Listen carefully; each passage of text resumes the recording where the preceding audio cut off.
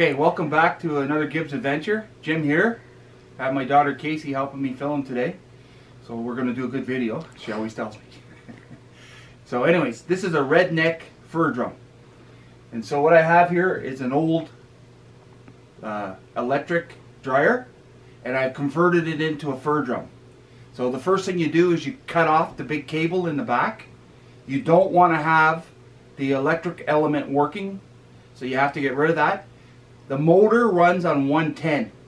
So you, you uh, cut the big cable off, you find the right wires for the motor, you hook them up to a regular cord, like I've done here. So this is just a regular cord, extension cord. So I spliced it into the back and uh, I've wired it so that it'll, it'll work. So inside the drum, you have to close off any vents. So if you see in the back there, okay, so what you have to do is seal the inside of the drum.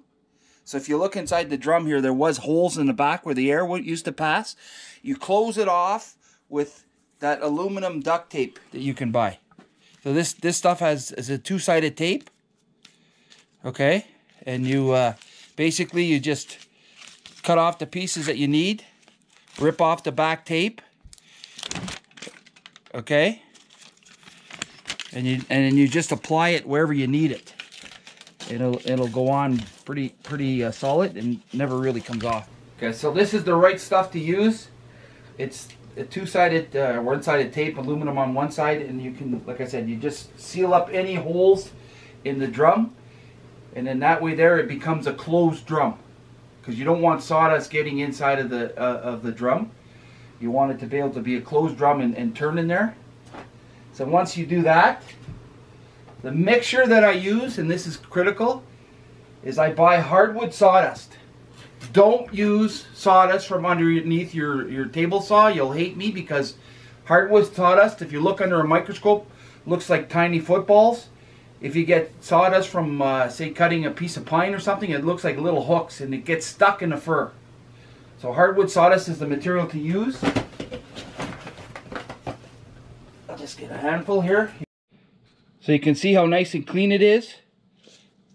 I put 12 of these I put 12 of these inside the drum and I do four beaver at a time. So here's the difference between the clean sawdust and after I've drummed it a few times.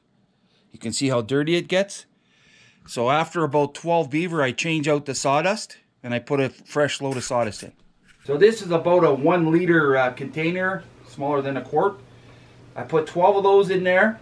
Once the sawdust is in, I add one of these full of hot water and I mix in soap. So you can use Downy, you can use all kinds, but you can, I put in about a whole cup, this measurement size of the soap. I add it to the hot water and I mix it and then I put it in in the drum with the sawdust and then I start the, saw, the drum for a couple of minutes to mix it all up. After that I add my beaver in. So my mixture I have in right now is good to go. I, I did a couple of beaver already this morning, and I just want to add in a few more.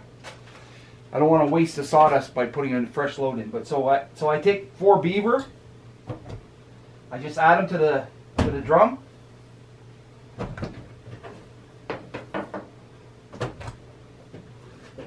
Plug it in and away I go. So I drum my beaver for 10 minutes.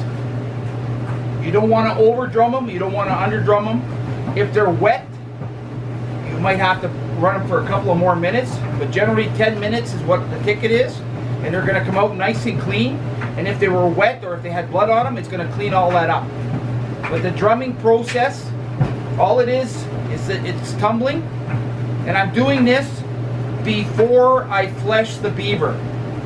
If you do flesh beaver, like clean skin beaver in here, you're going to put a layer of sawdust on the flesh side and it's going to be like sandpaper and the graders are going to hate your guts. So don't do it. Try to flush them or if you do, you got to scrape every piece of sawdust off the skin side because it will stick to it. So I'm doing this, before, these are rough skin beavers and I'm doing it to clean the fur. So they've been drumming for 10 minutes. I didn't put a switch in so I just use my, I'm just using my cord to turn it off and on.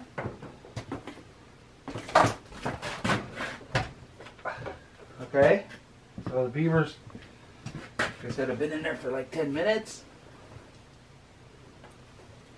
I give them a shake as I bring them out here. I try to grab them by the nose.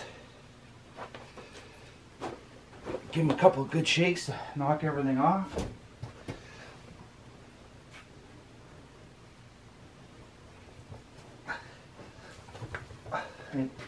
People ask, why would you want to drum a beaver?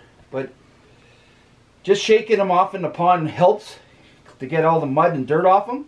But you'd be amazed how much dirt is on a beaver. Okay, so you can see the hardwood sawdust does not stick in the fur. Okay, it sticks to the fat side, so that's why you don't want to drum a flesh beaver. When I flesh it, it helps my flesher hold on to the uh, the fleshing knife hold on to the skin and it actually fleshes easier for me. But there's no grease running anywhere. It's nice and clean. Okay. So that's a that's a drum beaver. Compared to a beaver that's not drummed.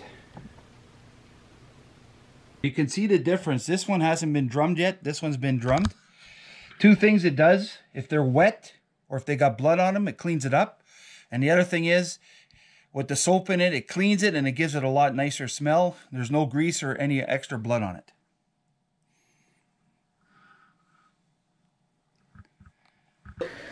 This is, uh, I got one more to pull out. And people will ask me, why would I bother drumming a beaver? Because they don't drum them at the auction. But for me, I'm trying, I'm always trying to strive to give the best possible product that I can. And drumming gives you an edge. You know, as I showed you with the, the one that's drummed and one that's not drummed, it gives you an edge. So, there you go.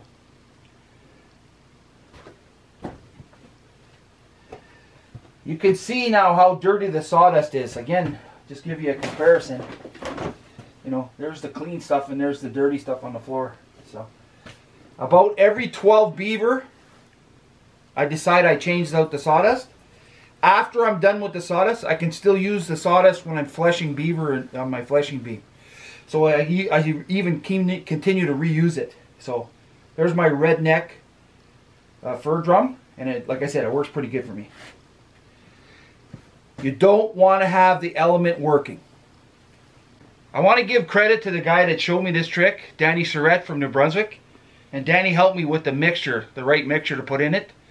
Different size sawdust to doing different jobs. You want a heavier sawdust for drying things like raccoon and for doing things like beaver. If you're going to drum marten, you would use a finer sawdust. So you wouldn't use a heavy sawdust like I'm using. So, but I'm using this pre skinning or pre-boarding. And I'm doing it, the, like I said, the auction house doesn't drum beaver, but I'm trying to give a, as good a product as I can. Right on.